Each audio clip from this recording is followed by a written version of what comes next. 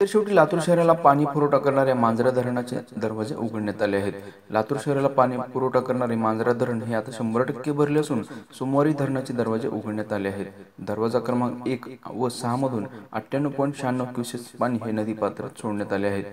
धनेगाव येथील मांजरा धरण हे अठ्ठावीस ऑक्टोबर रोजी पूर्ण क्षमतेने भरले होते. मांजरा धरणाचा एकूण पाणी साठा हा दोनशे चोवीस पॉईंट झिरो त्र्याण्णव धनलक्ष घनमीटर आहे.